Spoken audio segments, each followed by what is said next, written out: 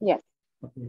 Thank you so much uh, for your invitation for this uh, geological conference on, ge on geology and uh, on earth science.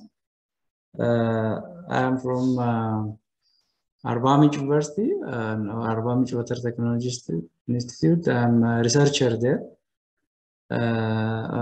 basically, research is on the uh, sustainable land management activities. Yeah, and uh, uh, here Ethiopia is uh, uh, there is a lot of uh, land degradation. land degradation affects soil erosion, like sedimentations are affecting Ethiopia. So most of the government are conducting on like watershed management activities by investing huge amount of dollars. So here uh, uh, we are you know evaluating that watershed management activities on hydrological compacts like uh, on vegetation cover and uh, land use land cover and also other hydrological impacts uh, on stream flow, groundwater, and uh, on surface water availability. So basically, these topics on evaluating the impacts of watershed management on vegetation cover and the land use land cover dynamics using remote sensing. And there I think your slides are not moving. Uh, no, no, uh, I want to move. Uh, it's okay, moving. Okay. Uh, here are outlines uh, for my presentation. Uh, problem statement, objectives, material, method, result, discussion, and the conclusion recommendations uh, are there. And then introduction under introduction, uh, uh, so uh, watershed management activities generally changes in land use and the vegetation covers. And basically this watershed management activity has rehabilitate degraded land is protect basically soil and the water systems and while sustaining ecosystem services. Uh, so as a result, uh, a very uh, substantial natural resources are being investing and this promoting these watershed activities. And uh, the study area on Wonba watershed, uh, there are seven micro watershed are targeted by sustainable land management intervention. And uh, the watershed is, uh, this uh, hypothetical watershed is very, uh, you know, degraded and low land cover, scarce vegetation cover, low ground and surface water availability, little soil moistures, and it's very degraded land. So this to address these serious problems, uh, many watershed management interventions are underway uh, in this watershed. Uh, basically, like hillside terraces, uh, stone bunds, deep trenches, and the financial and the community bonds. So uh, this, which was funded by Sustainable Land Management (SLM), SLM is now investing up to 0.2 million dollars on this project, but it was uh, it was worthwhile to note there there is no proper quantification of the impact of these SLM activities on watershed activities. Uh, so, as identified uh, program statement, as you know, land degradation or uh, decreasing vegetation cover, it impacts uh, soil moisture and causes drought and flood. And it is uh, quickly curved or elevated by watershed management activities. Uh, despite the importance of watershed management as uh, approach of curbing this land degradation, there has been little researches um, on the impact till date, uh, mainly sufficient availability of data and also scientific knowledge, uh, lack of scientific knowledge uh, are major threats. so basically to, to, to gap the data availability, we use remote sensing. Remote sensing uh, uh, used to fill such data gaps. And uh, so watershed management impact assessments are essential to differentiate the positive and negative impact, then to replicate only positives. So several previous studies are conducted watershed management activities on uh, biophysical and socio-economic activities.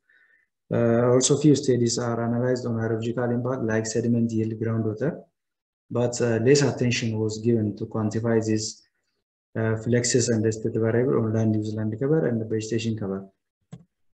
So objective, uh, the objective of this study was mainly to validate the impact of sustainable land management intervention on vegetation cover and land use land cover dynamics. Specific objectives are here uh, to quantify changes in the area of vegetation cover using normalized different vegetation index, uh, to validate the exact change point here, uh, to detect actual changes in land use land cover, and and to evaluate uh, the accuracy of remote sensing based on land cover mapping and vegetation cover mapping.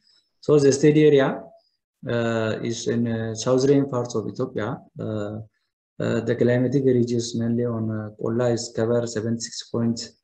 4%, uh, and the total area of uh, out of the total area of the watershed, um, 62% are coverable by cultivable land. And uh, so it negates agriculture Are you know dominant activity, especially uh, maize production. And this is the watershed. Uh, this is a micro watershed, which was uh, soil and water conservation activities are implemented. As can see from this uh, figure, it has an area of 49 kilometers square area. It's a micro watershed. And here at the outlet point, there is a river gauging, which was an elevation of 1,226 and higher elevation areas. These are 2,691 meters. So uh, the, the, the river is now, you know, flowing like uh, from Wonba and then to go to uh, Zente River and finally to our largest river, uh, which is Omo Gibe Basin. So uh, this uh, research method are conducted by data collection analysis, remote sensing data, uh, digital elevation model and Landsat imageries are used and the field works are also conducted. Uh, ground control points are collected from the field uh, using GPSs. Uh, uh, almost uh, 200 ground control points are collected for classifying this Landsat image in land, land covers. And as a method, uh, uh, the, the, intervention watershed management impacts are evaluated on land cover by using these three methods, uh, land cover classification, accuracy assessment, change detection. On vegetation cover, normalized different vegetation index was analyzed and land surface temperature, LSCT were analyzed. There, there, there is a step how to retrieve uh, normalize different vegetation index from Landsat 5 and 7 image. So uh, for also from uh, Landsat 8 image only, there's also a method here how to retrieve normalized different vegetation index. And also for land surface temperature, there is also a method.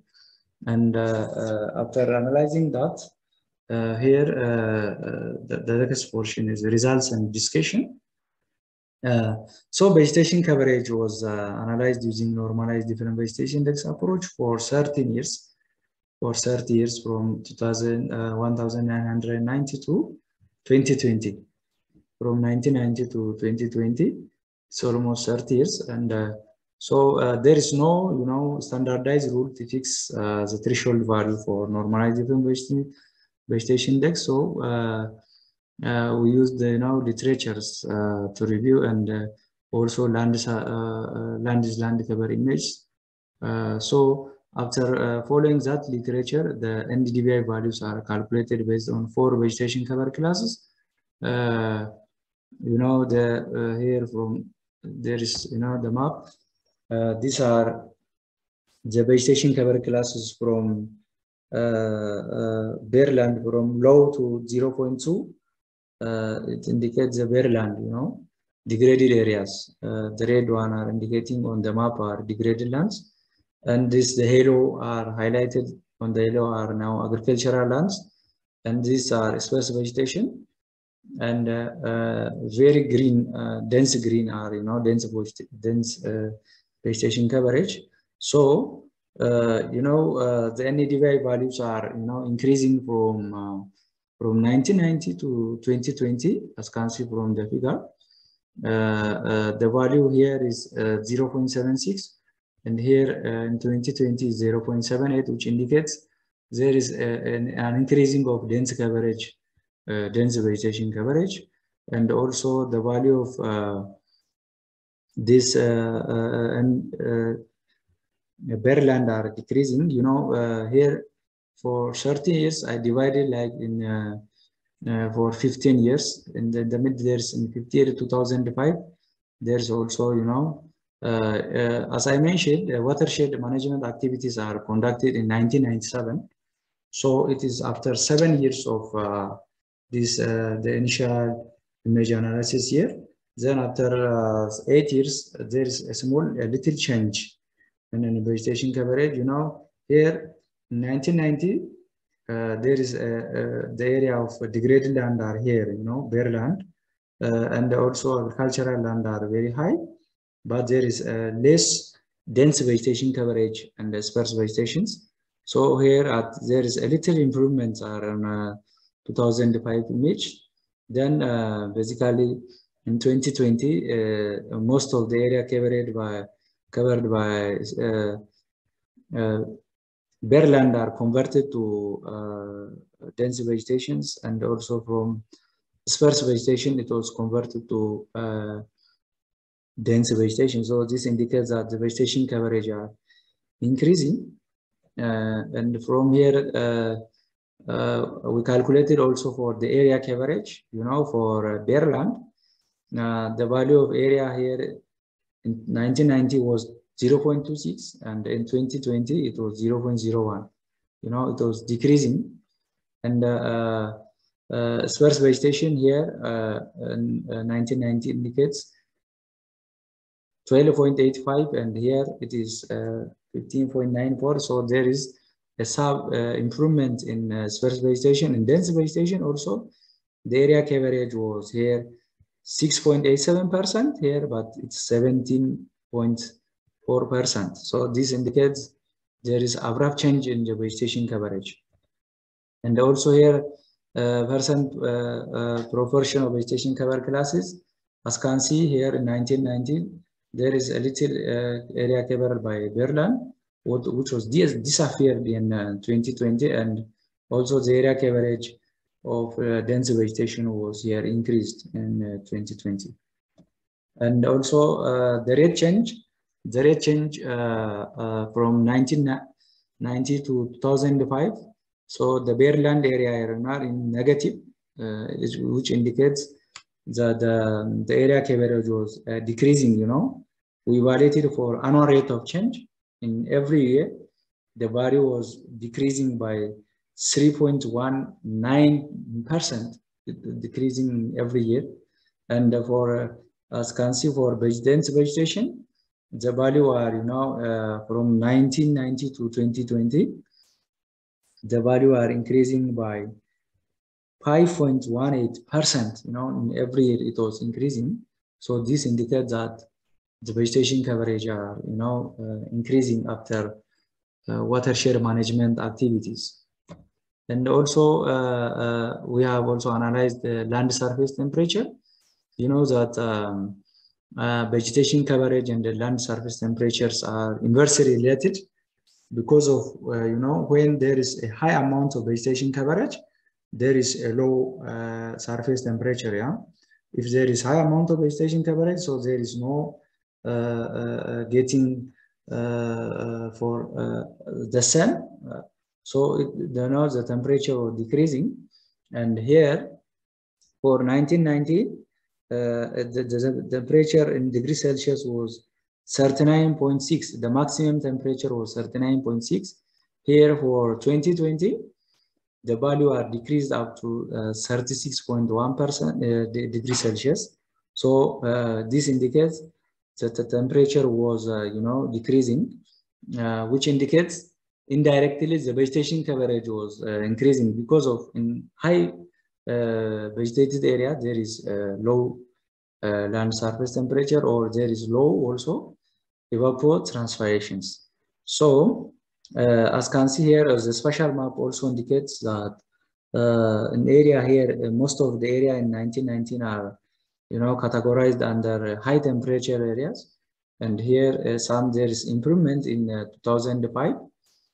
Some area are covered, which are in high high temperature area are covered by, you know, low uh, temperature area. And here also, and uh, in 2020. Uh, most of the area covered in 1919 uh, by high temperatures are converted to where the area under low temperature area. So this indicates indirectly the vegetation coverage was increasing.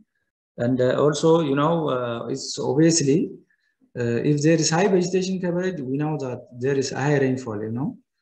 Uh, uh, it is obvious uh, that, but here, we analyze the annual average precipitation for these three in annual average temperature, annual average precipitation for 1990 indicates that there is high rainfall value of 1100 millimeter highest rainfall.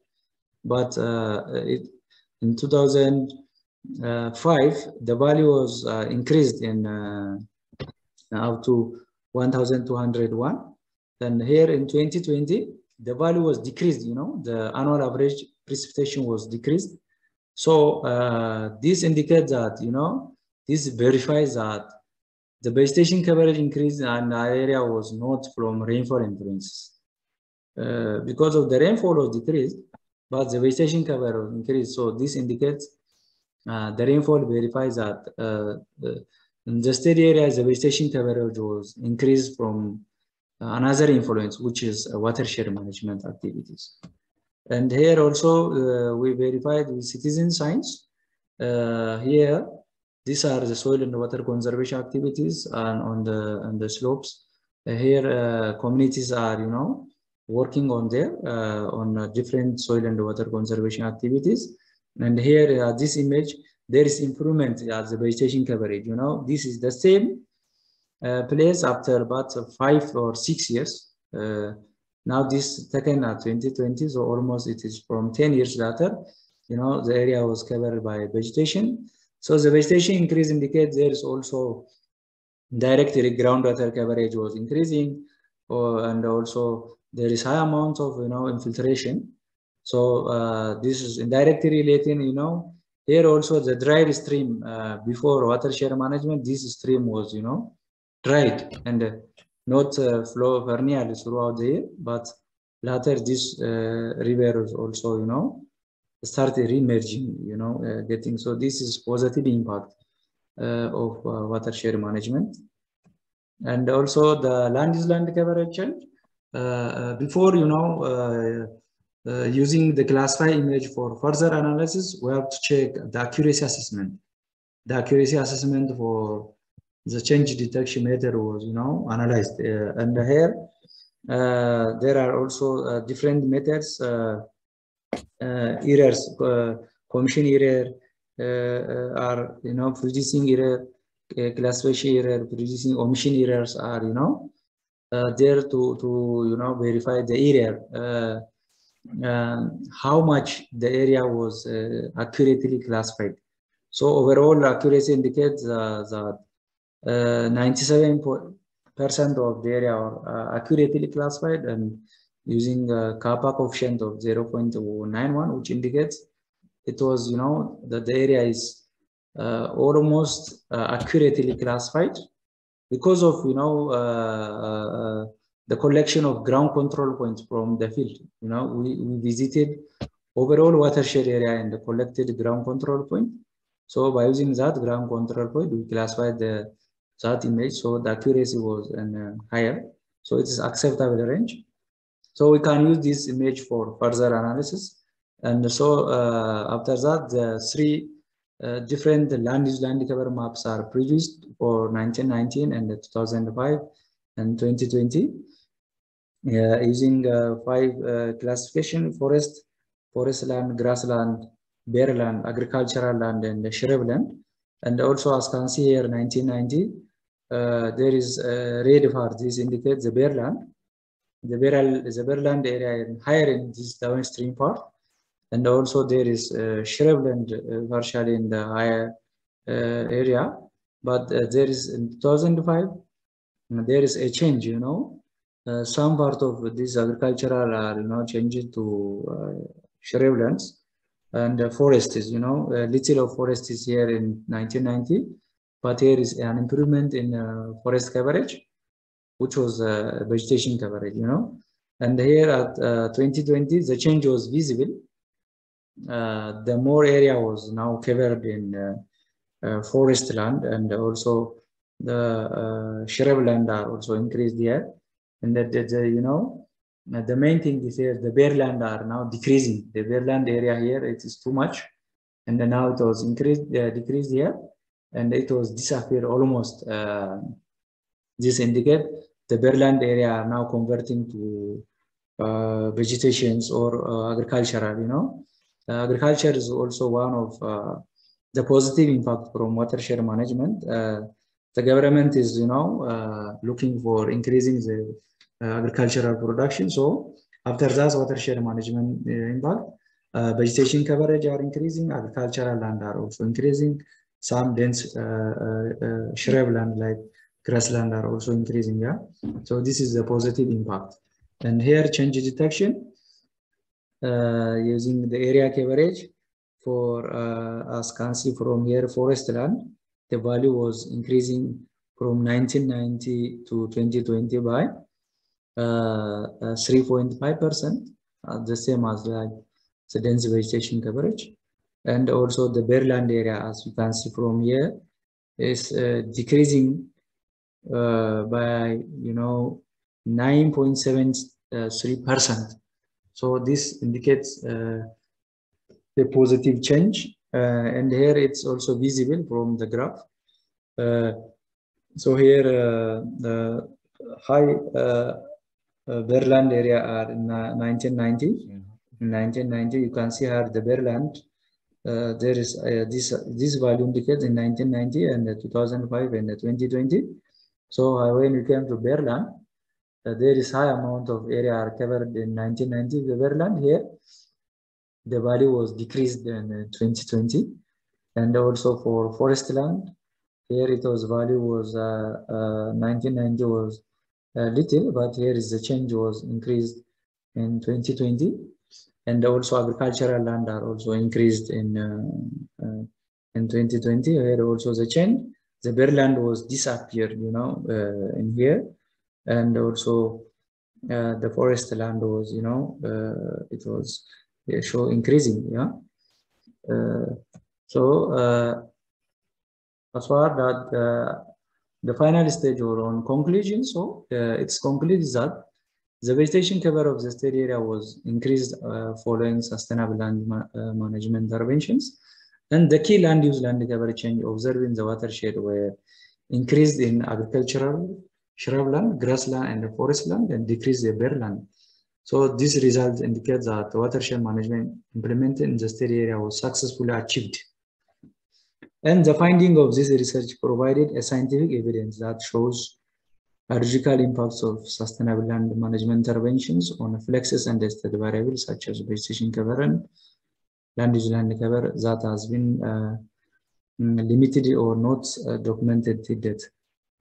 And as a recommendation, uh, here most of the images which are profoundly affected by cloud cover affect also the result, you know. so uh, when we classify this NDVI image, it affects the result. So it's recommended uh, to remove this cloud by applying uh, cloud masking algorithms. it's and also lack of sufficient ground control points leads to large error during training of image classification and validation. So mm -hmm. it is better to collect sufficient ground control point for training image classification and validation and with also appropriate sampling strategy to increase the classification accuracies. So this is uh, study. So thank you very much.